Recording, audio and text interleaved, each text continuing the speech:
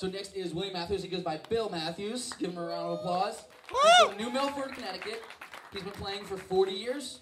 Uh, his influences are Gentle Giant, uh, Bruford, Weckl, Yeah. Weckl, and progressive rock. so Bill, you got three minutes. See what you can do.